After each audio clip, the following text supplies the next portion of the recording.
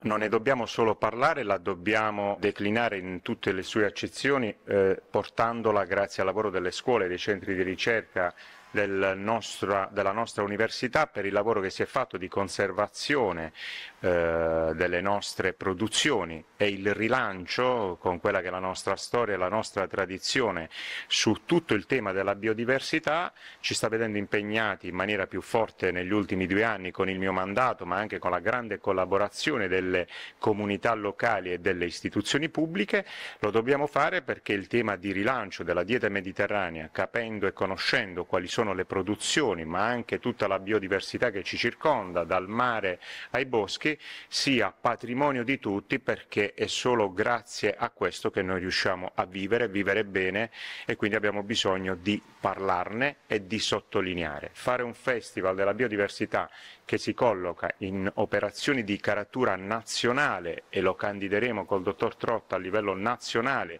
delle attività ministeriali significa essere all'avanguardia significa essere lungimiranti e dimostrare che è una Puglia attenta ma soprattutto pronta alle sfide.